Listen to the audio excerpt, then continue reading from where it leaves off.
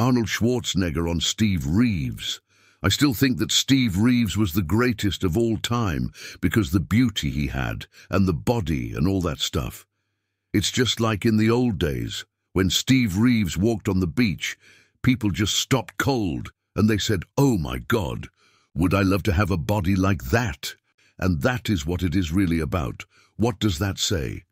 That says everyone out there says, that's the kind of a body I want. Arnold speaking on another occasion. Look at the old days when Steve Reeves won. When Steve Reeves won and you saw him at the beach, you said to yourself, I would love to have this guy's body. Wow, look at how beautiful this man looks. But that's not what you can say today about those guys that win the competitions. And so, what I'm trying to tell the judges is that you got to go and look at everything. Like, for instance, so many of those guys have their stomachs sticking out.